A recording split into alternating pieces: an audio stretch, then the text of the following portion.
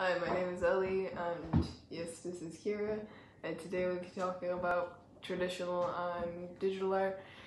Kira has her laptop on the side, and it's full of her drawings, and I have my sketchbook and a few pages here, and basically we'll be talking about the differences between digital and Traditional. traditional. Yeah.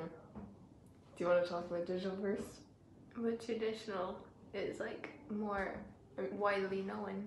Yeah, I guess. Um, and digital, which she has on her laptop there, is more used now since yeah, it's 2020, so everyone just has phones and iPads. So I guess it's quite easier to access apps with sketchpads instead of actually going out and buying them. Traditional artwork is pencil and paper, like any sketchpads, like this.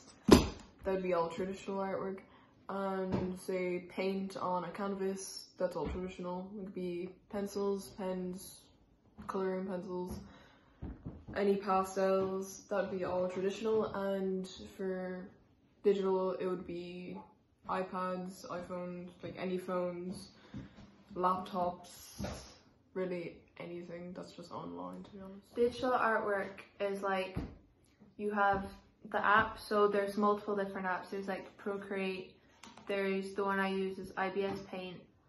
What other ones is there? It'd be just like a normal app called Sketchpad. Sketchpad. There's loads of different ones that you can use. Some you have to pay money and they're more expensive, but they're better than some of the ones like ibis Paint is a free one, so it's not as good as say Procreate would be 'cause that's like five or something to get. But with the digital art, you can choose like the size of your canvas and all that, the size of your brush. So it's not as in traditional art, whereas you need to control your lines to get the right thickness.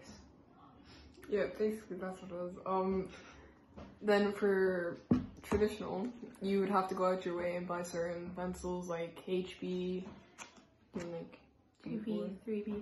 Yeah, basically all different types of pencils to get darker shades or even lighter shades. Then for pens, just like a black, red, green, any type of color gel pen. pens, or there's no more point, Yeah. bold point pens or stuff. And there'd be a type of pen called white gel pen. There's fine liners. for yeah there's a lot of different types of pens and then for there'd be very expensive pencils there'd be cheap coloring pencils there's a lot of them they'd range to any price they could even be over 100 euro and then for canvases paints can be quite expensive especially especially oil paints from the quality of them and how long they can last. Usually very expensive ones they will take ages to dry because they are oil paints and there's acrylic paints then Acrylic paints dry faster, so. Yeah so they usually be they would tend to be cheaper but they can sometimes be hard to use. But oil paints are they're more like kind of old type that was used like hundreds and years ago there's watercolor as well. Watercolor is hard to control. yeah watercolor would be quite hard yeah, it is, yeah. but you could do mm-hmm. quite smooth like finishes